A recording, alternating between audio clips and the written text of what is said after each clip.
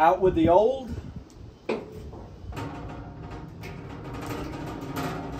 In with the new. Hey guys, welcome to Pellets and Pits. Hey, today is all about the new competition series, Titan Edition. It's all by Pit Boss. It's an Academy exclusive. If you guys want to see this review, here we go. Alrighty, so we get started on the review. Uh, just a couple side notes. I did get this for free. Doesn't change my opinion about the grill. It's going to either show you how well it performs or it's not. I think it's got fantastic features. We can get to those. Um, typically, when I do a, a griddle review or a grill review, I like to start from the bottom and work my way up. This thing seems to be a lot smarter than I am, so let's see if we can do it justice. First things first, you'll notice that each wheel is a locking wheel. It's a 360 caster on all four sides. I love that. I think it's a great upgrade. I'm good with that. Secondly, working our way up, if you notice we have some doors. Inside the doors, we have to get to a little bit later because there's some stuff in there we need to talk about. But one thing I like about it already is the fact that you can open the doors for storage and all the other stuff you want to put under there with your shelf down. This shelf is obviously up or down. I kind of like the fact that you don't have to open your shelf to open your doors. It comes standard on it. Great by Pit Boss to include that. We can always use more space. Just working away on the back side, if you notice that your cabinet storage space is vented, they also have these two screws right here, which are long enough to be able to support multiple grill grates as well. So when you're done your grill grate or you don't need to use it inside of your smoker, you can just hang them off the back and it's already there for you, out of the way. You have a side table here with three accessory hooks. The side table also folds down just in case you need to store it and get it out of the way. Working our way up, we're just gonna talk about the hood because that's a really important part. It's a rollback hood. It's the first one I've ever seen. And it's an insulated, it's a double insulated hood. So it's supposed to keep the, uh, the heat in there a little bit better. If you notice here, we have some gasket seal and it's wrapped all the way around for a good uh, support system when you close it. Try to keep those air gaps out of there. Um, also on the back of this is going to be your air gap for your pellet smoker. You can adjust it a little bit. It's hard to tell in the light. Yep. It doesn't close all the way, but the pellet smoker needs to be able to breathe a little bit. But in case you want that extra smoke flavor, there you go. Roll that hood back up with ease. And this is where the fun begins. All right. The shell slide completely out, which I kind of like. You don't really have to, there's not like a stopping mechanism or anything like that. You just slide them right out. One thing I noticed right away is the fact that we have five positions, one, two, three, four, five, and three shelves, which we can get to that later. So let's pull the guts out of it and show you what we're working with. If you notice here, what Pit Boss is known for is their flame lever system. So you open this up and you can reach temper temperatures up to a thousand degrees. Um, I've never really tempt or tested, but I do know that I absolutely love this feature because when I had my Pit Boss Navigator as the first pellet smoker I ever had, I just love the option of reverse searing or be able to come out here really quick, grill some chicken breasts, just grill like a few steaks, open it up and you get that flame kiss, which I think what meat deserves is something flame kissed. And it kind of locks in right here. Easy to remove. We're going to take the guts out, this piece of metal right here is a lot thicker than the uh, Navigator. Uh, this isn't like a cheap piece of metal. This is pretty thick. I'm impressed by that. Alrighty, Pit Boss's brand new design. This is actually going to run your pellets from the bottom up at a 45 degree angle. And with that comes two things. One, it kind of prevents the blowback or the chances of a fire coming up and getting back into your pellet hopper. Uh, sometimes your pellet dump is up here. And when your flame comes up, it's not all the time, but it has been known to happen. Your pellets can actually catch on fire, feed to the tube, and then all of a sudden it's got a source right here, and then it just catches on fire like crazy. Since this is feeding uphill, it does serves two purposes. That one purpose because it's higher, and now when you open a bag of pellets and you know it's got all that dust in, that dust kind of like settles back down. It's got to wait for the dust to fall, and now you're just putting pure pellets into there. I think it's a great idea. I mentioned earlier that inside the cabinet system, you have two features. Right here is your grease trap. It's a bucket uh, tin lined, and the good thing about that is it's out of the way, right? You don't have to worry about your animals getting into it, the critters, the dogs, anything like that. It's easy to access, easy to hang. Um, and right here is our fire pot. So it's got a little latch system. Hope you can see that. Spring loaded, extremely easy. It's got a little handle, pull it out. And there you go. Brand new burn pot. The design is a lot different. I'm not really a scientist, but it looks like the holes have been created different. Um, it's a lot heavier duty and it's got a little area there for the pellets to run down naturally. A lot different. Benefit of this is my old school navigator, you had to take everything apart to get to the burn pot to clean the ashes out of the burn pot. And that's where you get in this habit of like vacuuming up. And I never gotten into that habit of vacuuming. I never liked it. So I just scoop the ashes out myself. This makes it a lot easier.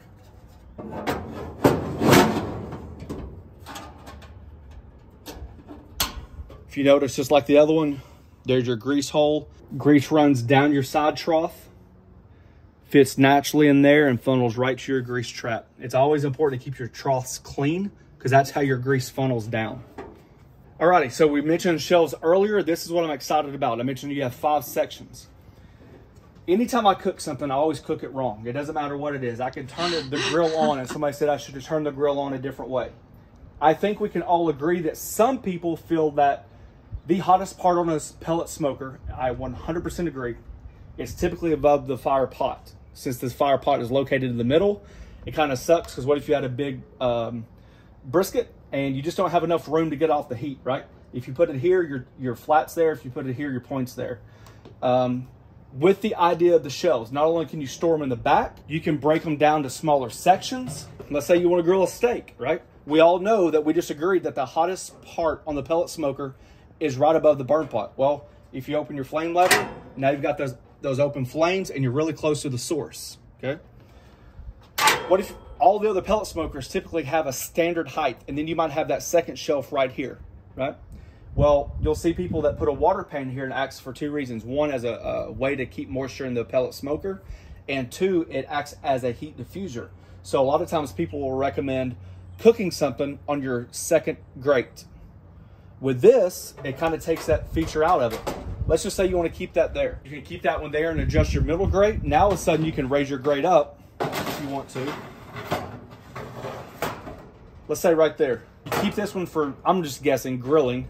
And then now if you want to put your brisket on there, now it's away from the heat source. You've got a lot more space between point A and point B instead of only having this option. Now, if you want to, you can add your water pan and you have a full rack to cook on. Okay? It gets even better.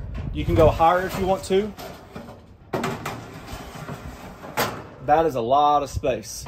Even with the lid open and closing, it's no problem. If you notice this top shelf is a little bit smaller because it fits on the top. You can either decide to use it all the time or like I said, you can take it out and put it on the back side. The cool feature about these grates, every single one of them acts the same. I'm only gonna do one because you can imagine all the different configurations you wanna use. All these are stainless steel, which I think's I think it's awesome. They're super easy to clean. Anytime you use stainless, super easy to clean. I like the fact that the grates run left and right, not up and down. It seems like it's naturally easier to flip left and right than it is to try to go forward and then flip. I like the left and right system. Some people might not like it as much. I'm a big fan of it. What I'm a big fan of is this right here. What a genius idea. You got screws in all of them. Like I said, this mirrors every single thing besides the size. You unscrew it, you can raise them up, take them off, however you want to do it. Now you can adjust the width of your shelves. Or let's say you need a space for something else. For some reason, you can do it like that. You can keep these forward and not even use the back. Whatever configuration you want to come up with with these three shelves, that's completely up to you. The feature's there for all of them, and that's pretty cool. We just screw back down. And there you go working your way around, you have your pellet dump. You just pull that out, all the pellets release down. Um, I do think there's enough room in there for a, a typical, like I use five gallon buckets all the time. Uh, I can tell you this, from as much as we've moved around already being put together, um, this thing moves way easier than what it was like uh, heavy wise. I know it sounds crazy. It's just, it's really easy to move. The Navigator only comes with two set wheels and two uh, twisting wheels. The fact that all four of these swivel makes it extremely easy to move and it is like, I mean, it takes no effort at all. Those are pretty good wheels right there. 4.3 inch display right here. You have your glass looking inside of your pellet hopper. This thing's smarter than I am. It can actually diagnose a problem. And when you do your startup, you actually go through that process. We'll get to that in a second. You also have variable um, smoke control, which means you can adjust the amount of smoke you want on your food. You also have like a rapid fire ignition, which is supposed to heat up faster. I mean, this thing is a lot better than I am. One fantastic feature they came out with, I can't stress enough. I have no idea how well it's going to work. If you notice, you got one, two, three, four space, one, two, three. Well, if you throw all your pellets in there, then it'll feed the pellets naturally. I have noticed that this is like a a lot steeper of an area on the bottom. I know it's hard to see because the protective mesh, but it looks like it when you dump it, you won't have as many pellets left over because the bottom of it's extremely steep. They've created this little plastic divider. So you put your divider in. I don't know the ratios, but considering your pellet hopper is a different size, I'm assuming this is going to be your major side. So you let's say you wanted hickory on this with a little um, cherry this is going to be your dominant side because it has four. So my guess is that four is going to dump faster than three. But the more you move this up, then the difference the ratio changes is I have no idea if it's ever going to matter. I know some people like the mixer pellets. Some people will take a five gallon bucket, mix it up like 20, 30, 50, 50, 75, 25, whatever you want to do, and then dump the whole thing again. I don't know if it's going to work. I don't know. I don't forever want to taste the difference, but it is an idea that they've come up with. So I just thought I'd show that feature. You can keep it in there if you want, or if you don't want to, you can just take it out, take it out completely. But that just shows you what they've done. Oh, first things first, let's load it with pellets. This is a 40 pound hopper. I did not mention that because I just wanted to see if the bag would fit. I have a little bit left over, which is fine. Uh, but just goes to show you how massive a hopper that is. We have other pellet smokers I worked with in the past that between like a 28, 30 or 20 pound hopper, you get nervous on those overnight cooks. I'm not gonna lie, you know, like you wanna fill it up right before you go to bed just to make sure, but with a 40 pound hopper, that is a lot that, of pellets. That looks like a lot of pellets. Yeah. I've only got one other smoker that has a 40 pound hopper.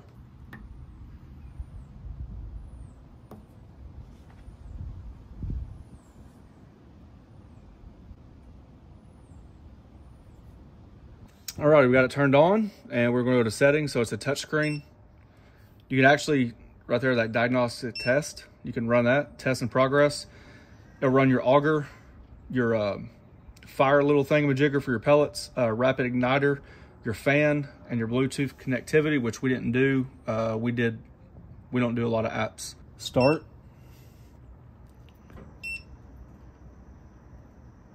All right, you got your prime options. You got five seconds, three seconds, or hold prime. I'm just gonna press hold prime. Basically what that's doing is forcing your pellets uh, from the hopper to your burn pot, right? So there's nothing inside of your uh, tube right now. And so this is basically just creating um, that area to happen faster. You can do five seconds, three seconds, and you only need to do this, for example, if you had to clean out your hopper for some reason something happened, um, and there's like an air gap or for some reason there's a disruption between the amount of pellets in here versus uh, your uh, burn pot. So once you hear it, you don't have to prime anymore. There it goes. Hear it? You hear that? Yeah, so we're good. So, alrighty, so we started with the Pit Boss. Just to let you know, it's a little bit different than other brands. You got to keep your lid open during the ignition process. That's what they recommend. So what's going to happen is the basic cavity is going to fill up with a ton of smoke. That's the pellets uh, beginning to light. The smoke will dissipate. Once it dissipates, we can close the lid. And the manual says to turn on for 350 for 45 minutes to an hour. Um, I'll show you something when we get to that process. Your dial works in five degree increments and it can go as low as 150 for the people that want to hold like a brisket or they want to keep something warm. I think that's a great feature and I'm pretty sure it goes up to 500 degrees. Yeah, 500, it's maxed out. So we're going up 350, and there we go. One thing I just saw right there is a probe port. So you basically slide your probe right through there, and it can connect to your two probe ports right there. It comes standard with two Pit Boss probes. I think that's pretty good considering it comes with a shelf and the probes we have a pellet grill accessory like video, kind of like one of those things like things that you might have forgotten or things that you just didn't think of when you bought your pellet smoker. Uh, we have magnets that I always save for different reasons. Just like that. Stops the smoke from coming out. Not a big deal. I'm just working my way through this screen. I mean, it's really incredible. I mean, you have like everything from like screensaver. You can adjust like how fast your screensaver comes on. You can lock it. Startup mode. You can do your display for your brightness, Celsius, Fahrenheit. Uh, you can hear that the fan's starting to roar, so my voice might be a little bit different. But the P setting, um, you can actually turn it like to automatically set like a power smoke mode, PID mode, smoke mode. Um,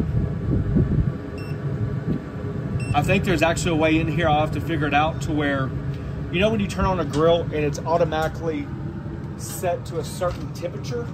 I think you can change this to where, let's say, like every single time you turn it on, it can go to 250, it can go to 225, it can go to 235. I mean, this thing's really, really involved. I mean, I think this is what pellet smokers are about. I wanted to get the lid closed before I say something else. Um, most of my grills, I've fallen into the habit of thinking that you need to oil down your smoker before you really season it. I know when you season it, you're supposed to burn off the manufacturer oils.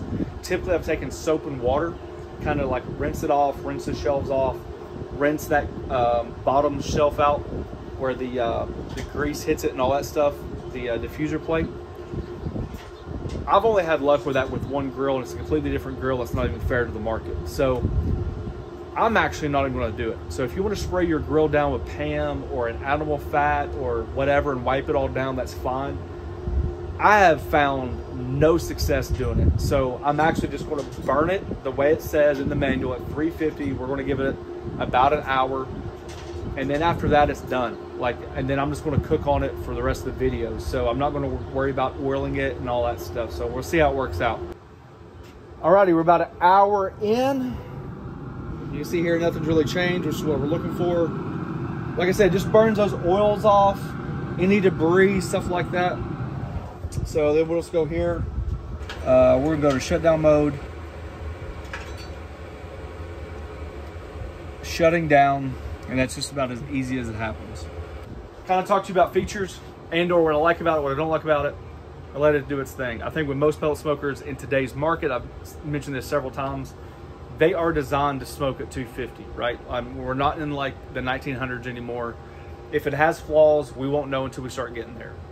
Um, whether or not produces of smoke, I don't know. I am looking forward to compare it to other models head to head, ribs, brisket, uh, chuck roast, stuff like that.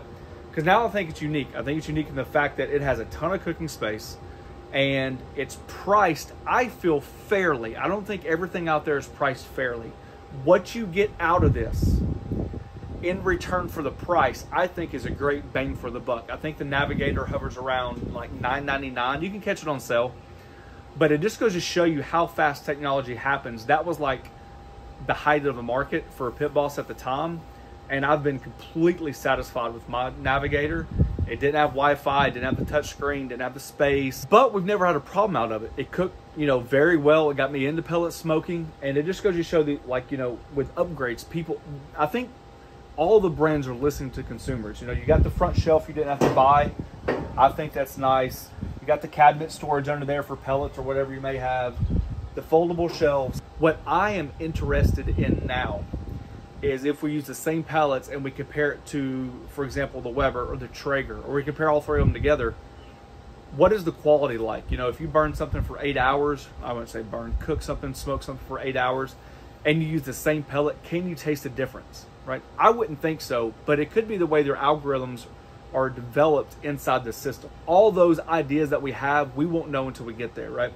So the features, I think, are definitely there when you look at at cooking space, it's gigantic. It's like 1,623 square inches of cooking space. I'm sure you're not going to use all that if you don't have to, but it just goes to show you. And I think also to one thing before we get off here, each brand that I've learned is kind of like uniquely different in what it what it offers, right? So I still haven't found the perfect pellet grill necessarily for me because there's like I want to take bits and pieces for each one. You know, I wish it had a rotisserie. I'm a rotisserie fan, but I also love the idea of the flame option. I'm a huge flame option fan. So winding down, uh, like I said, the features are there. The computer is smarter than I am. I think is the more we cook on it, the more advanced we can get with it as well. We can learn with it.